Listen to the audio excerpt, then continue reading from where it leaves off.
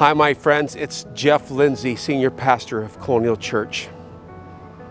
On behalf of the pastoral staff and myself, we thought it's important for us to reach out to our congregation right now, knowing that you are feeling some of the same feelings that we are having. We are, are angry, we're frustrated, we're disappointed, we wonder what in the world is happening. How can this happen in 2020?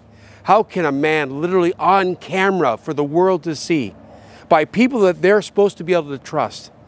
How can that life be taken? Some of you know from past sermons, since fifth grade all the way up through my junior year in college, I wanted to be a police officer. I thought that is the best way for me to help and encourage and support the communities that I love across the Twin Cities. God had other plans for me. And he made it very clear that that was the case. But I still am so for police, and I'm so for the, the need for this group of men and women, brave men and women, to help us have the world and the society that we want to have.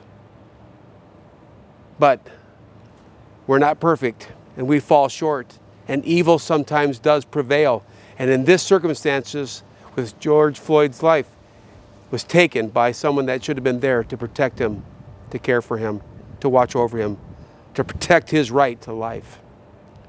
Well, we can get into all the details of that and all the political understanding of that. That's really not my point in coming to you today.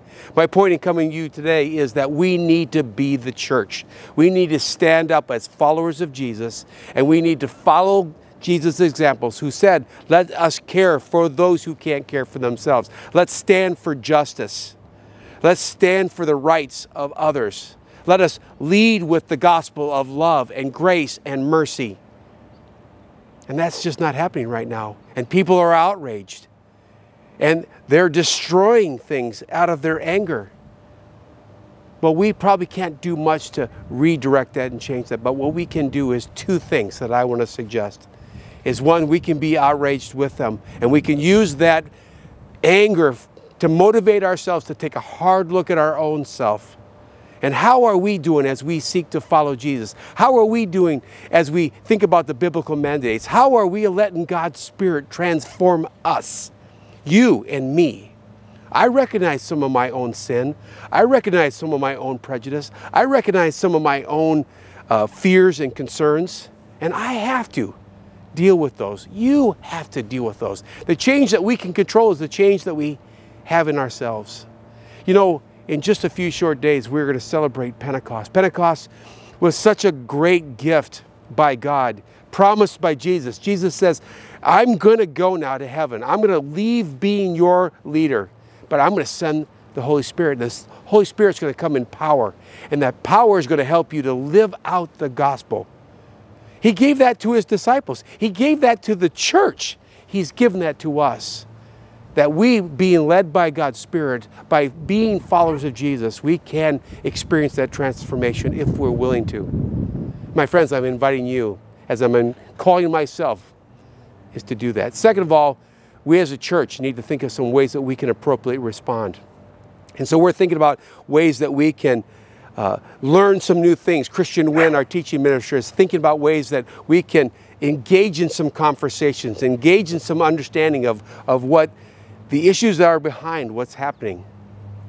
Paul Burleson, our missions director, is thinking about ways that we can maybe redirect that, that drive-by food uh, gathering that we're going to do in a couple of weeks. Or maybe there's ways that we can revitalize some partnerships that we've had in the city. We are trying to think about ways that this death, this tragic loss of life of a child of God, can motivate us to do what we think we believe, what we say we believe, but we don't always live. My friends, we want to be that kind of church, don't we? We want Colonial Church to be the church that doesn't talk a good talk, but lives a good life that looks like what Jesus showed us how to do. So, my friends, let's pray. Let's pray that God's Spirit will lead us and direct us. Let us learn. Let us be open to new understandings of the ways that we can deal with these systemic problems that are happening in our world around us. And then when it's appropriate, let's act. in ways that doesn't look like it's the suburban white church coming to the rescue, but working in partnership with those who are already trying to make a difference in our twin cities and partner with them to do good for Christ's sake, to welcome beloved, to risk the messy, messy path and immerse ourselves in the sacred practices that Scripture and Jesus showed us how to do. So, my friends, I come to you to encourage you, to support you, to know you're not alone, and to lead you in this prayer. So let's pray together. Oh God, we, we don't know. We don't know. We don't know what to do. We don't know what to think. We don't know what to say. We just know that this isn't right.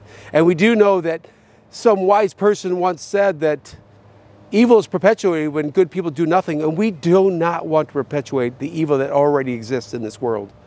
We want to stand up, we want to step forward, we want to act. And so, God, in this prayer, we are saying as a congregation, show us, lead us, illuminate the path before us, give us courage to follow. Lord, we pray that you would not let us just be hearers of the word, but to be doers of the word. To not just say we follow Jesus, but to truly follow Jesus. To not just trust that the Spirit's going to come and lead us, but to literally be led by that Spirit that comes in power to transform each follower, to transform the world in Jesus' name for the sake of the gospel. So, God, we are grateful that we know that you hear our prayers, and so we entrust these prayers now into your care. And we open our hearts as best we're able. We open our minds as best we're able. And we take that step of faith to truly be your people. Lead us, guide us. We pray these things in Jesus' name. Amen.